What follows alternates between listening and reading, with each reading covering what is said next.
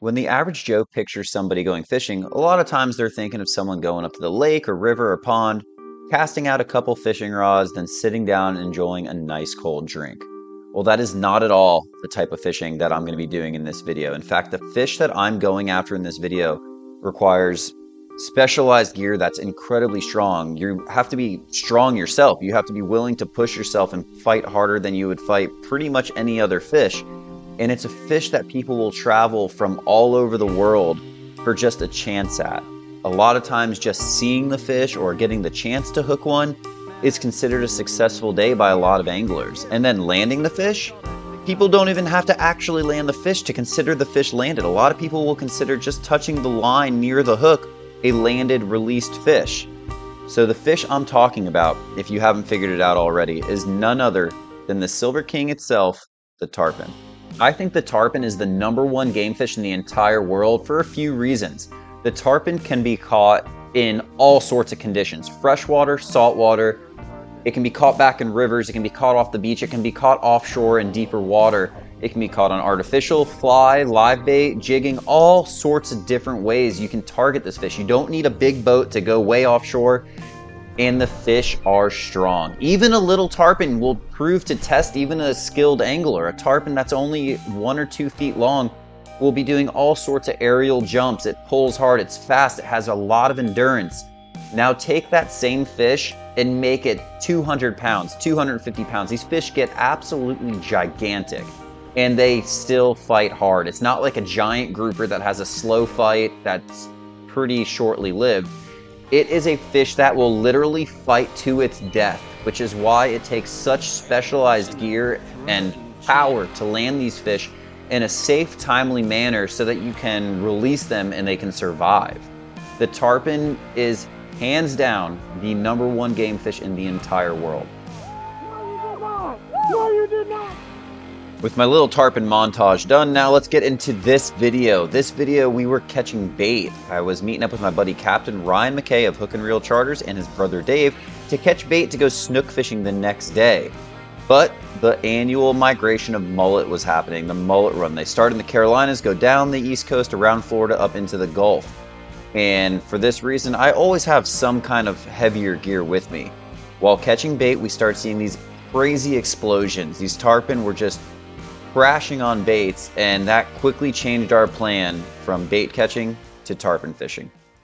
guys, out here on Hook and Reel Charters today, we got Joe, we got Dave, we got a nice pot of mullet here blowing up off the front of the boat. We'll get back to you in the action.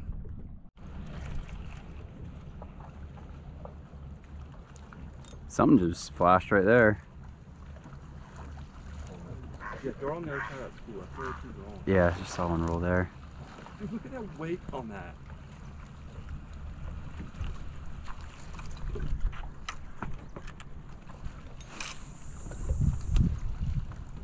Graceful cast. Oh, oh! Oh my god.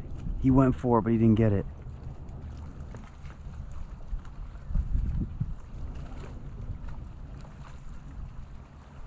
He did get it. He did get it. He got it. Oh, he got it. He got it.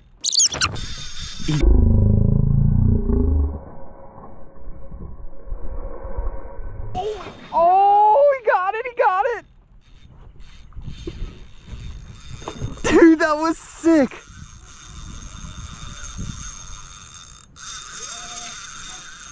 Should we chase him around the crab traps? Dude, that was sick. I didn't think he'd get it. Got it. I didn't feel him. Uh, I didn't feel him thump it. Dude, that's a big one.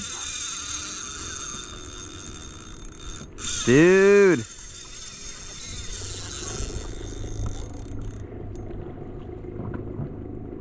Got a stud on. Oh my god, I just got it too. No, you did not. No, you didn't. Dude, he rolled on it. He might be. Is he coming at you or no? Should I keep chasing this fish or what, Dave? I'm going for this fish. Yeah, we go got one on. I know. Oh man.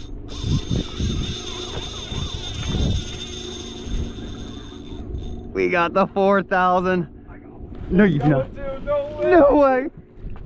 Oh, You got a giant. You got a giant. You got to go over the crab pot. Dave, over the crab pot. Dave, Oh, Dave's got a big one. I got one on out here. Come up here with me, Dave. Oh, That was sick. Stupidness.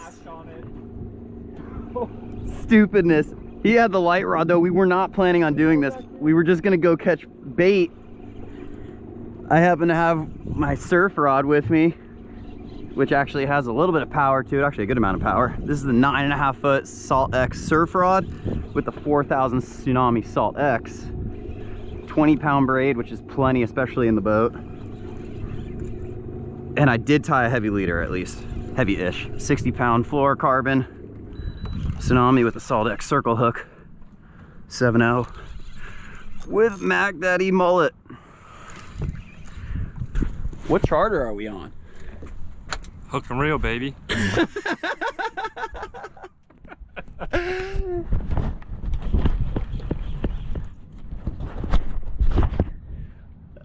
Hook and reel. We're thumped up. I don't even know what thumped up means. It's all on YouTube, right? Yeah.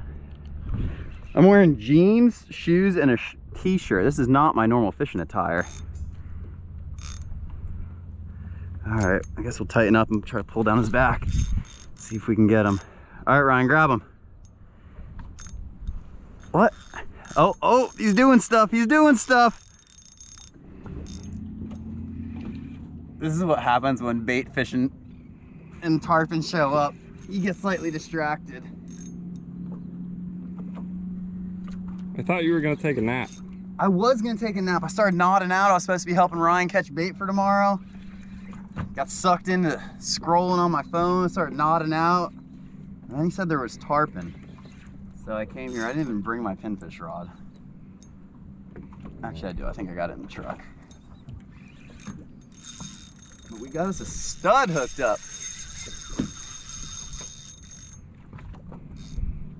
I never saw. Oh. I never thought I'd be fighting a fish on the front of the boat with a surf rod. that's what I had. Oh, coming up, coming up, coming up, coming up. Come on, do it. Nope. It's doing all sorts of weird stuff though.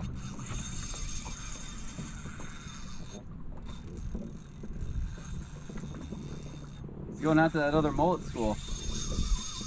Oh my gosh.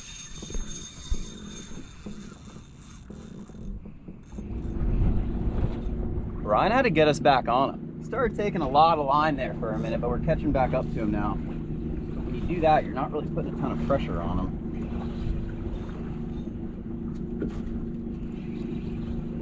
We need to hook another one though. We got to get on him again. A little tighter on the drag. Dude, my reel's so hot from that run. Ooh, big shakes.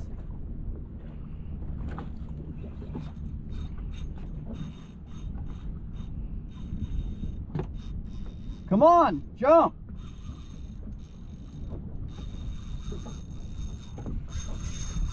Oh, he listened a little bit. I need some energy. I need some energy. Where's that? Joe. Energy Joe for Joe. Oh, come on. brought to you by 7-Eleven. When I go for tarpon, I like to have me a nice hot cafe con leche from the all new freshly ground coffee beans at 7-Eleven. Oh, thank heaven for 7-Eleven. I'll make a short out of that. Be like, Sponsored? 7-Eleven sponsor me. Oh no. This ought to tire him out, right? Long run. Maybe.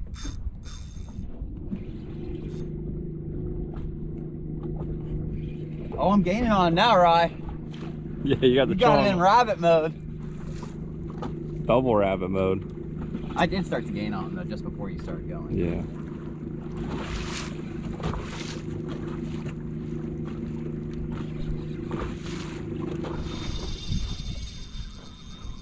How did he not jump right there? Tarpon jump, go.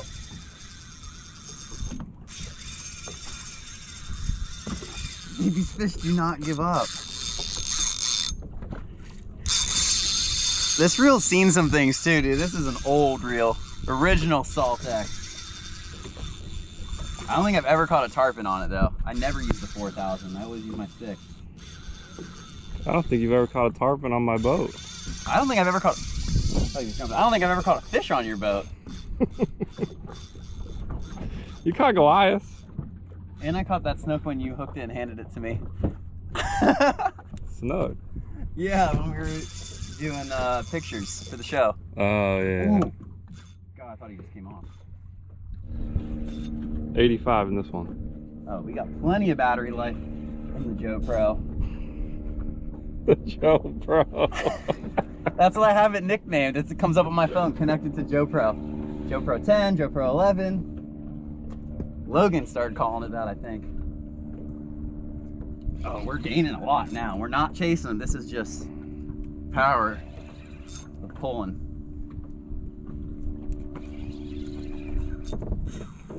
No, don't do it.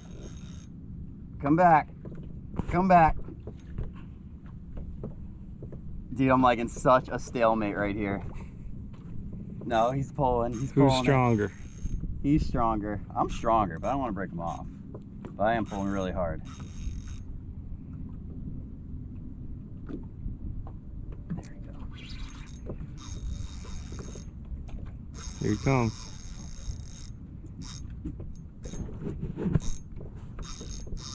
Dude, I tightened the drag up so much. He's right there. 20 yards out. Is that 20 yards? Hunters? 15. 15? Ooh, that was a big gain. We need to roll them. Lots of big gains here.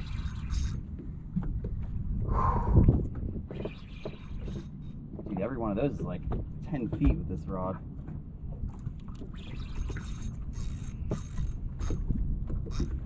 This is where we need him to do a jump right there. Tarpon, do a jump for me.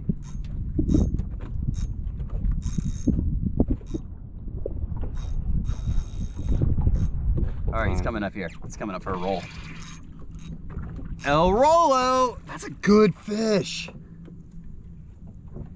Okay, there's my leader. So I got a really weird leader on here, Ron. I gotta give you a warning if you're trying to land this thing. There's an FG knot to like three feet of 80, and then there's another knot to 60. So if you grab the leader, don't get your hand cut by the other knot. So I'll cut it at the 80. No, you're gonna unhook him. He's got that circle hook right there in the button. I'm just kidding. I didn't see where he's hooked. Coming back up.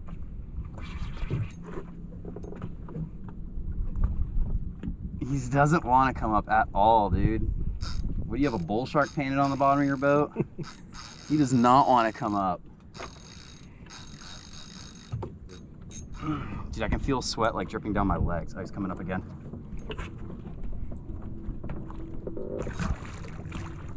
Dude, that's a chunky one, man.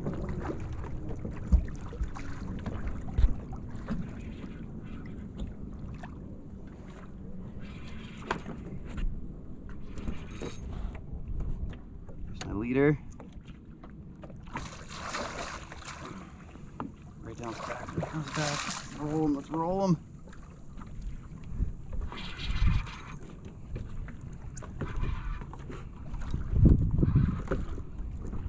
Got my leader at the, at the tip.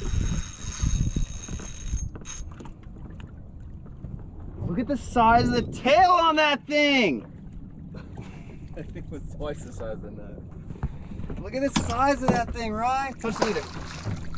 Landed fish. Oh yeah. Going in that re- record book. I don't know what I'm talking about. We're mounting. It Looked like he was about to do something. There he goes. That's a silver king. It's a yellow king in the river.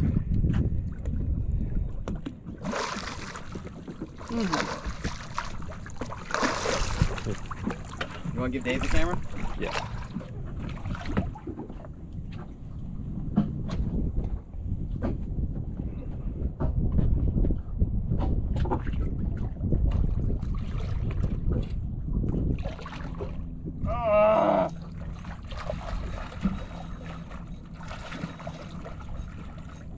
almost there. Gonzo. You better get two hands on that mouth and hang on tight, boy. I don't even want to touch this thing. Come on. Bottom jaw grab. Let's see it, Rye.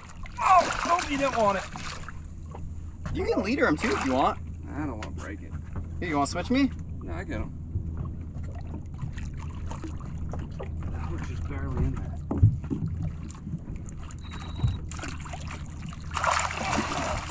Oh no! You didn't like that. Mm. Surf rod underwater. That leader's in there, just be careful. yeah, yeah, I know. I just don't want to go through the uni, the uni knot. Gotcha.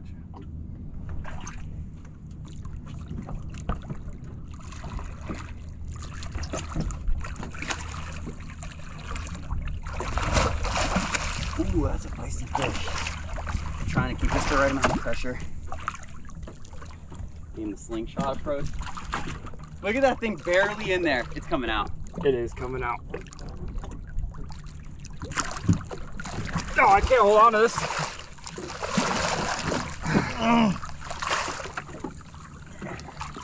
That's a good one, dude. Put the boat in gear. Get that tail up.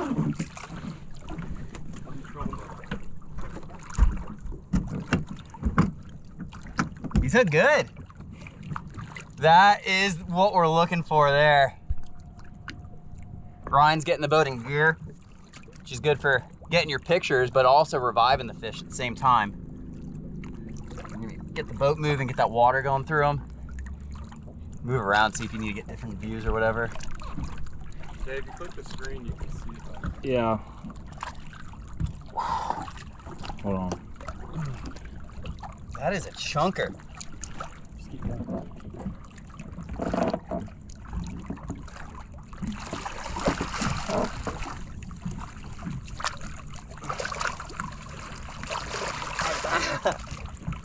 All right, I'm gonna try to get his other side. Try back down low again, like from the back, from the tail.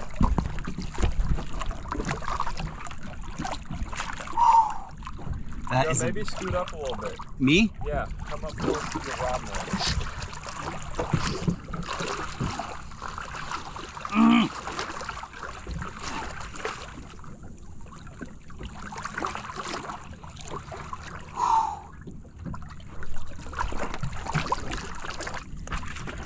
That is a grown one right there. Look at that hook. A little bit of fray. Fell right out. Joe, let me hop in and you guys hold it up. Really? Yeah. All right, give him the camera. I'm not gonna hold it up, but I'll do like. Yeah, yeah, just like very. You want me to stop it? No, no, just let it keep going. Just give it to him. Are you? Oh, that thing is giant.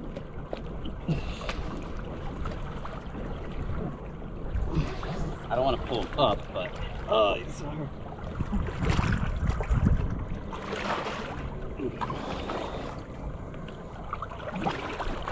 Now, as soon as we landed the fish, we got the trolling motor going and we're reviving the fish. We're using the boat to push water across the fish's gills. So even though we're doing photos and videos this whole time, this is what's needed to be done when reviving a big fish like a tarpon.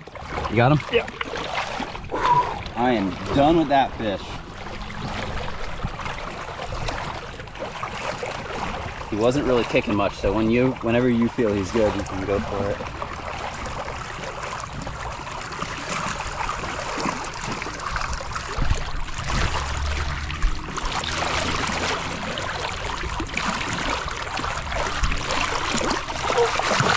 He's ready. I gotta let him go. Look at that, he's kicking away. Swimming! Well, that was not planned at all. I did not think I was actually fishing today. I thought we were just catching a couple pigfish.